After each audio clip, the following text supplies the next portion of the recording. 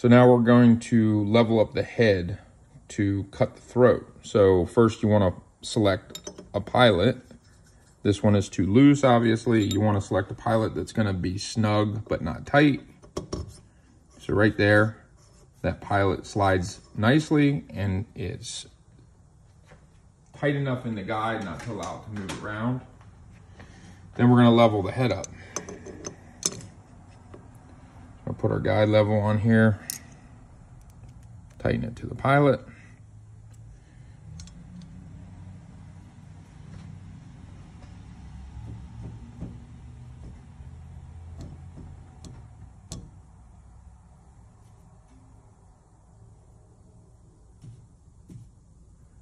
We're gonna get it very close and we're gonna cinch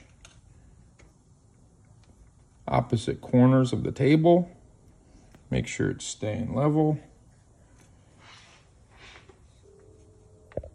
Now it's leveled up. You want to verify that it's level. You turn your level 180 degrees and it should stay centered.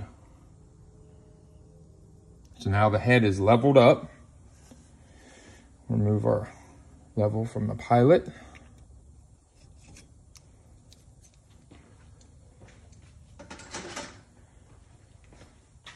And we'll install the pilot in the cutter body.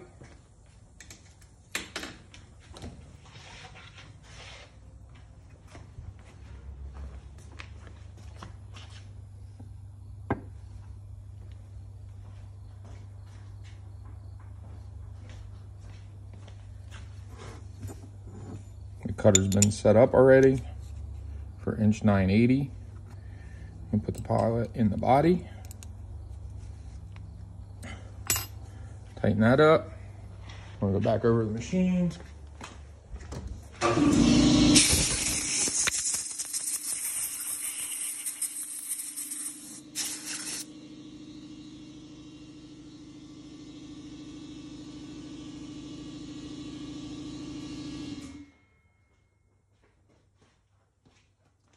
Always make sure you blow off your pilot.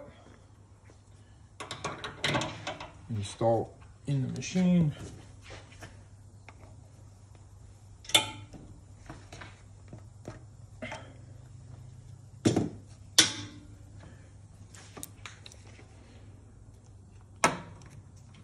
So we're gonna come back over, release the airhead. I'm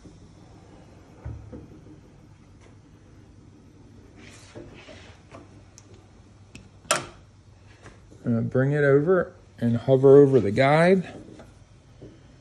We're gonna line up the guide carefully. Lower it in. Make sure it's free in the guide. Lock the head back down. Just gonna put a little WD-40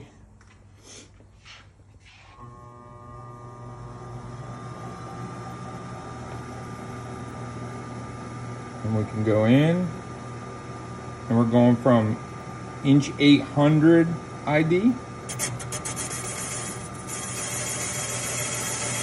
to inch 980.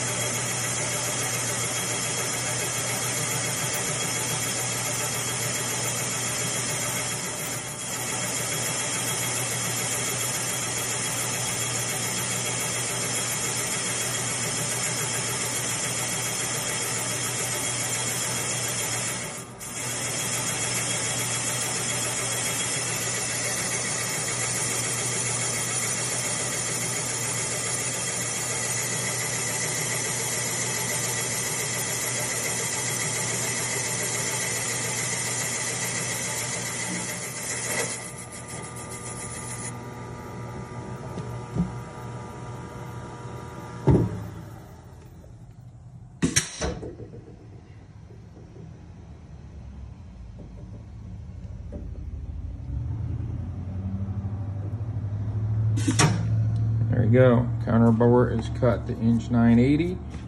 So you're not removing as much material with your seat cutter bit.